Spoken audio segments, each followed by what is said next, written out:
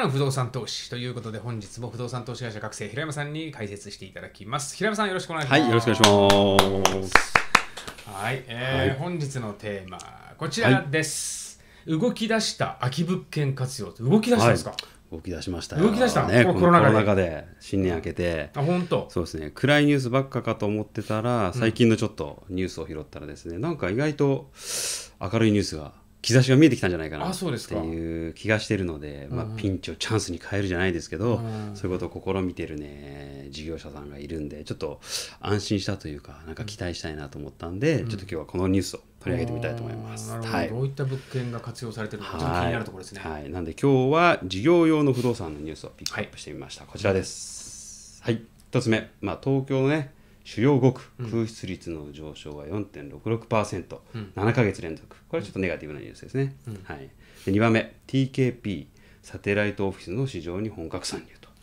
TKP ってあの貸し会議室そうです、そうです、会社その大手ですね。はい、うん。上場してるね。はい、で、3つ目、飲食店舗をテレワークスペースにうんっていうことで、まあねこれまずね一つ目から見ていこうと思うんですけども、まあ、これはねちょっとまあ現状をねあの示しているニュースなんですけども、まあ要はこちらですね次のですね。あの東京のね、まあ、千代田区中央区港区新宿区、渋谷区、まあ、主要5区ですね、ここの事務所オフィスのですね平均の空室率が7ヶ月連続で下がってて、まあ、今月も前月比0.08ポイント上昇したよと。うんってことなんですけど、まあ、これ何かっていうともともとねコロナが入る前、まあ、今年じゃ去年で2019年の終わりから2020年の初めにかけてはこの空室率がね、まあ、1.55%ぐらいだったんですよ。うん。ってことは3倍になっちゃったんですね空室率が。うん。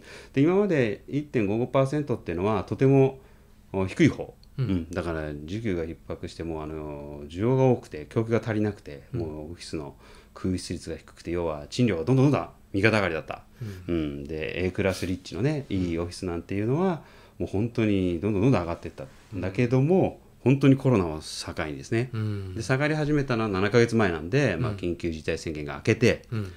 まあ、5月終わって6月からかな。やっとこうう緩やかに動き出したと思ったら、うん。やっぱみんな動き出したんで、ね、企業の集約縮小に伴って空室が増えていったと、まあ、要はこんなにオフィスの広さいらないよね、うん、こんなに多店舗全国展開してるのもいらないよねっていうことで、うん。もうあの構造改革をしてねリストラをしてどんどんどんどんオフィスがスペースがいらなくなっちゃったと。この空室率っていうのは飲食店舗はは入ってないです。うん。事務所ですね。オフィスです。オフィスです。うんはいうん、だオフィスがねもう本当深刻化してるよっていうことですね。飲食店舗うんなんか入れたらこんなもんじゃないですよね。そんなもんじゃないですよ。空室率はね。うん、そうそうそう、ん。で飲食店舗だと、まあ、もちろん大きいのもあると思うんですけどやっぱり中小が多いと思うんでなかなかこう統計取りづらいでしょうね、うん。まあ、オフィスももちろんいっぱい小さいのあるんですけどただやっぱりまとまった面積のものであるのでである程度そういったオフィス専門の仲介会社って大手さんが結構いたりするので、こういうデータは取りやすくて、まあ、常にねデータが取れるんですけども、まあ、ただねあのじゃあ賃料はどうなのっていうところを見るとね一番最後のところ一坪あたりのね、推定制約賃料がもう3か月連続低下してますと、うん。うん。まあ坪あたりの賃料がね2万3373円。まあこれは本当に都心5区なんでね、そもそも一坪あたりの賃料単価が高いんですけど、まあ、それでもね3ヶ月下落してるっていうのはもう耐えきれなくなってやっぱオーナーさん側とか貸主側がね、やっぱり家賃を下げざるを得ない、うん。まあ、こんだけ空室率が上がっていってね募集しても決まらないんだったらやっぱり家賃を下げるしかないじゃないですか、うん。っていうもう最後の手段に差し掛かってきたっていうことがね今起こってます。はいでまあただそういうニュースがありながらも、まあこのねこちらの2つ目に、ね、あったように TKP 先ほどね貸し会議室の大手ですよね、うん。ここがサテライトオフィスに市場に参入しましたということですね。これ何かっていうとまあ会議室を全国にいっぱい持ってますよね。うん。うん、で会議やんないですよね今。人集まってオンラインですね。ね。石田さんがやってますけどセミナー会議室、まあ今度ねですね。チャール先生とやるやつはまああのでもすごい久しぶりのリアルじゃないですか、うん。もう圧倒的に多分9割減とかもうそんなもんどころじゃないでしょ多分もう。でしょうね。オンラインですね今ねね会議は。だからもう TKP さんもねもちろん全国に場所持ってるけど、会議が入らないからもう魚の持ち腐れというかね,、うん。ね。っていう状態なんでもうその持ってるねところをもうオーダーメイドに、うん。うんイージーオーダーメイドまあリーズナブル要は貸し会議室をこういろいろ区分けして、うん。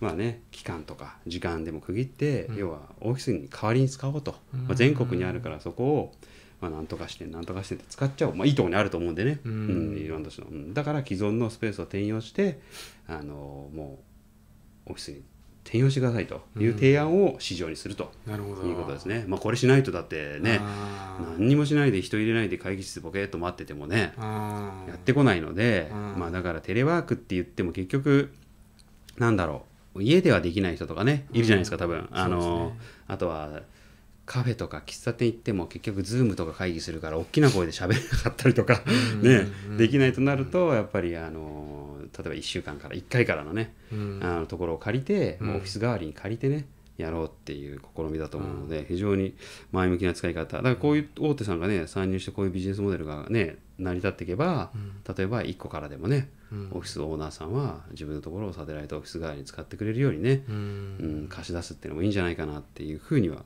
思うので、まあでもこれ1万7000坪でしょ都内だけで。ね、まずはね。まずはね。まずはですよこれがねこんだけあるんですから。だからどれだけこうそうしたことによって今まで家でやってた人とか、うん。まあテレワーク難民じゃないけれども、ん。あのいざテレワークとはいえども会社にも行けない行きたくない。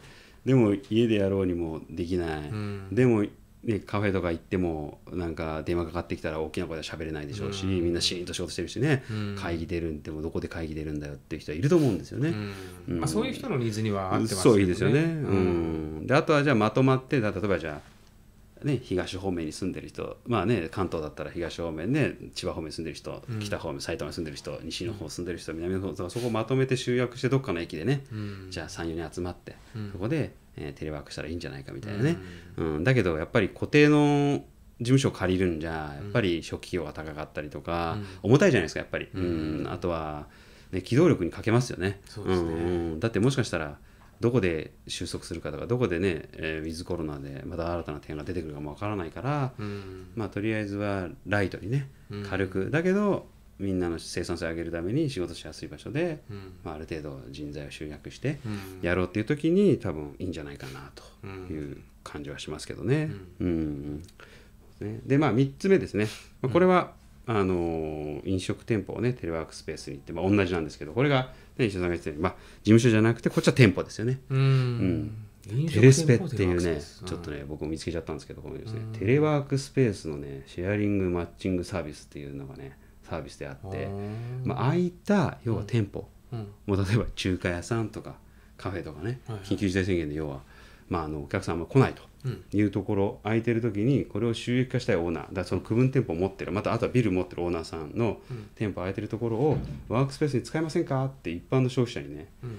えー提案してこれも TKB と同じですね。ここをあのいさっき言ったように家だとうん仕事しにくい、ん。あとは意外と今ってほら飲食店舗でも w i f i とかつながってんじゃないですか、うん。無料 w i f i とかあるじゃないですか。だから、まあもうあんまりねそのオフィススペースにある w i f i の速度とかそういうのは無理かもしれないけれども、普通に家にいるのと同じぐらいのね、まあ、w i f i ぐらいであればうん。家よりもまあ空いたスペースを使いましょうよっていうことで、うん。まあうんまあ、困った人と困った人をこうつなげるうん。マッチングねサービスができてて。でこれがねアプリが LINE 対応になっててうん。LINE の中でですね LINE でお友達追加してで探すんですよ。あの自分が新橋にいるっつったら、うんうん新橋にいるところにこう貸してる店舗がポーって出てくるんですよ。